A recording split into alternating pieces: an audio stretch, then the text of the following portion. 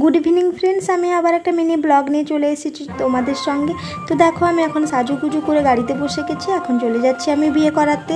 তো তোমরা কিন্তু শেষ পর্যন্ত দেখো।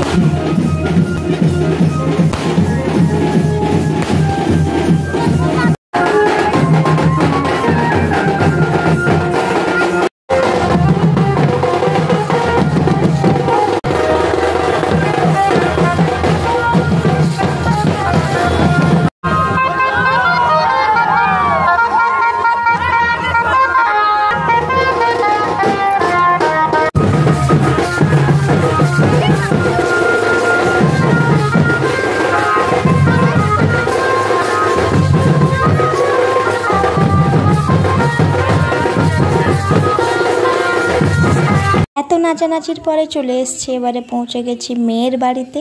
তো এখন ঢুকে যাব মেয়ের বাড়িতে। দেখো এখানে গোলাপ ফুল দিয়ে দিচ্ছে। তো একটা গোলাপ ফুল আমি হাতে নিয়ে নিয়েছি। এরপরে আমি একটু যেখানে বর বসবে মানে দাদা, ওখানে একটু ফটো তুলে নিলাম। তো দেখো সবাই মিলে ফ্যানে বসে গেছি।